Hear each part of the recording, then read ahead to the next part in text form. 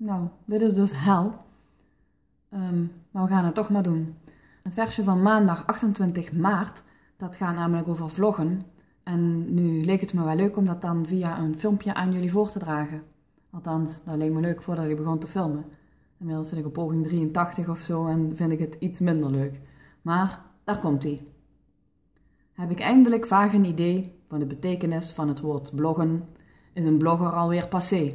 Tegenwoordig moeten we vloggen. Ik vraag me dus maar niets meer af, denk nergens meer over na. Ik doe gewoon gezellig mee. Ik vlog, dus ik besta.